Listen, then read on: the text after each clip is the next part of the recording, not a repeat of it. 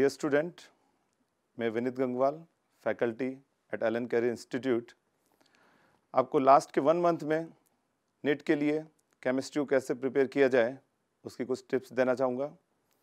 Previous year के trend को देखें, जो पहले ए पी एम टी होता था और अब नेट एग्ज़ाम होगा तो उसमें केमिस्ट्री के पेपर का लेवल इजी या एवरेज ही रहता है।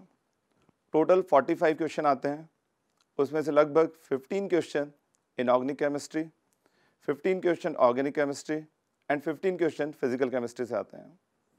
सबसे पहले अगर हम इनऑर्गेनिक केमिस्ट्री की बात करें तो इसमें सबसे important chapter chemical bonding and coordination compounds है। केमिकल बॉन्डिंग में से हर साल लगभग चार पाँच क्वेश्चन आते हैं, और इसमें भी जो इंपॉर्टेंट टॉपिक हैं डाइपोल मोमेंट एमओटी हाइब्रिडाइजेशन और हाइब्रिडाइजेशन में भी शेप एंड जेमेट्री एनसीईआरटी के जो एग्ज़ाम्पल हैं, वहीं तक लिमिटेड रहें। आउट ऑफ़ एनसीईआरटी एग्जाम्पल्स को भी अवॉइड करें। नेक्स्ट कोऑर्डिनेशन कंपाउंड से तीन चार क्वेश्चन एग्ज़ाम में आते रहते हैं। इसमें स्पेशली वीबीटी सीएफटी के एप्लीकेशन एनसीईआरटी से कवर करें। Isomerism of complex compound is also very important part इसमें एक छोटा चैप्टर मेटलर्जी जिससे हर साल एक क्वेश्चन ज़रूर आता है। इसकी थ्योरी एनसीईआरटी से पूरा ढंग से पढ़ें। ओ नेम्स भी एनसीईआरटी में जो दिए हुए हैं मेनली उन्हीं को याद रखें। बाकी questions blocks s p d f and hydrogen से आते हैं। इसमें भी कंसेप्चुअल एंड रीजनिंग वाला पार्ट ज़्यादा इंपॉर्टेंट है। रिएक्शंस को लर्न करने वाला पार्ट लेस इंपॉर्टेंट है। रिएक्शन वाले पार्ट में लेब बेस्ड रिएक्शन से ज़्यादा क्वेश्चन आते हैं। For example brown ring test layer test borax bead test flame test reaction of s block metal with liquid ammonia और K two C R two seven के properties भी important है।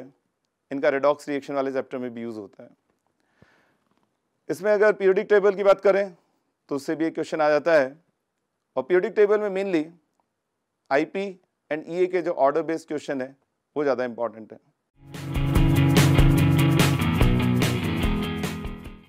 Chemistry का अगला पार्ट जो organic chemistry है, उसमें isomerism वाले पार्ट में टोटोमेरिज्म इंपॉर्टेंट है। ऑर्गेनिक का main important part general organic chemistry जिस जीओसी कहते हैं अब, वो काफ़ी इंपॉर्टेंट पोर्शन है। इसमें aromaticity acidic strength and basic strength पर ज़्यादा ध्यान देना है। एनवायरमेंटल केमिस्ट्री भी जो एनसीईआरटी में दी हुई है, उसी को पढ़ें। अल्काइल हेलाइट चैप्टर में एनएसआर की रिएक्टिविटी ऑर्डर इंपॉर्टेंट है। ऑक्सीजन कंटेनिंग कंपाउंड में फिनोल की ईएसआर इंपॉर्टेंट है। ऑक्सीजन कंटेनिंग कंपाउंड को प्रिपेयर करने के लिए ozonolysis method very important next chapter अगर नाइट्रोजन कंटेनिंग कंपाउंड में डाइजोनियम सॉल्ट की रिएक्शन ज़्यादा पूछी जाती है, उसी को ढंग से पढ़ें। नेम रिएक्शन जो ट्वेल्थ एनसीईआरटी में दी हुई है, उसको एक बार ढंग से रिवाइज करें। इसमें जो छोटे छोटे चैप्टर्स हैं फॉर एग्जांपल पॉलीमर्स से क्वेश्चन आ जाता है बायोमोलिक्यूल से क्वेश्चन आता है केमिस्ट्री इन एवरीडे लाइफ से क्वेश्चन आता है। केमिस्ट्री इन एवरीडे लाइफ में मेडिसिन के जो एग्जाम्पल्स हैं, जो एन में दिए हुए हैं, उसको एक बार ढंग से याद कर लें।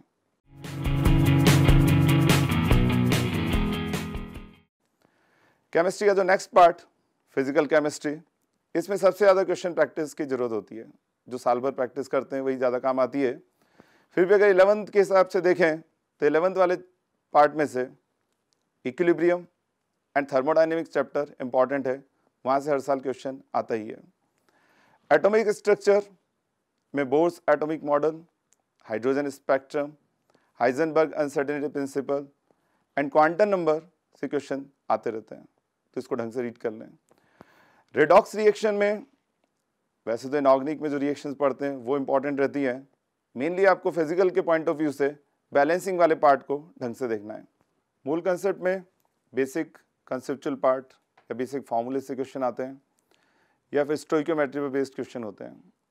इस टाइम बहुत ज़्यादा लेंदी क्वेश्चन की प्रैक्टिस करने में टाइम ख़राब नहीं करना है। रियल गैस में van der Waals equation and critical constant को एनसीईआरटी से ज़रूर पढ़ें। ट्वेल्थ क्लास में सरफेस केमिस्ट्री एक छोटा सा और इंपॉर्टेंट चैप्टर है। इसको एन e से ज़रूर रीड करें और हर साल एक क्वेश्चन यहाँ से डेफिनेटली आता ही है। सॉलिड स्टेट में एफ़ सी और एस सी सी पैकिंग को डिटेल में पढ़ें। इनसे क्वेश्चन आने के ज़्यादा चांसेस रहते हैं। केमिकल काइंडेक्स एक बहुत इजी चैप्टर हर साल यहाँ से डेफिनेटली क्वेश्चन आता ही है। सबसे पहला क्वेश्चन बनने का जो इसमें चांस रहता है रेट ऑफ़ रिएक्शन से। जो बहुत सिंपल क्वेश्चन होता है। Zero order and first order पर बेस्ड न्यूमेरिकल की प्रैक्टिस करें। सेकंड ऑर्डर थर्ड ऑर्डर आपके सिलेबस में नहीं है।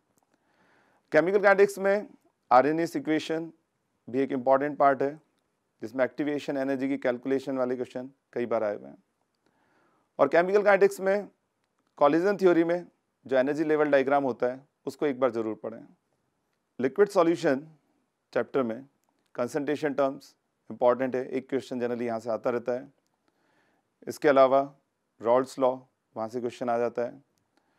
आइडियल नॉन आइडियल सॉल्यूशन के जो कैरेक्टरिस्टिक्स हैं, उनसे भी कई बार सिंपल थियोटिकल क्वेश्चन आता है। इस चैप्टर में कॉलीगेटिव प्रॉपर्टीज़ वेरी इंपॉर्टेंट और उसमें भी स्पेशली जो वेंट ऑफ़ फैक्टर पे बेस्ड न्यूमेरिकल होते हैं, वो इंपॉर्टेंट होते हैं। तो इनके फॉर्मूले ज़रूर देख कर जाएँ। Next chapter electrochemistry again very important chapter इसमें कंडक्टेंस वाला पार्ट जिसमें कॉलराश लॉ से एक क्वेश्चन आ जाता है। Electrode potential and cell potential में नर्स्ट इक्वेशन पे बेस्ड क्वेश्चन आता है। इसी चैप्टर में इलेक्ट्रोलाइसिस जो टॉपिक है, उसमें न्यूमेरिकल वाला पार्ट इंपॉर्टेंट है, वहाँ से भी कई बार क्वेश्चन आते हैं। स्पेशली बैटरीज एंड कॉरोजन इसकी एन से रीडिंग ज़रूर लगा लें। क्योंकि इन पर सिंपल रिएक्शन को आइडेंटिफाई करने वाला क्वेश्चन आ सकता है।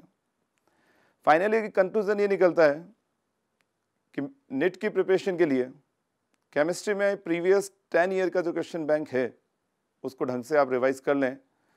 बिकॉज़ मेडिकल के एग्ज़ाम में जो प्रीवियस ईयर का ट्रेंड चला आ रहा है जनरली वही फॉलो होता है। नए क्रिएटिव क्वेश्चन बहुत कम आते हैं। Good luck do your best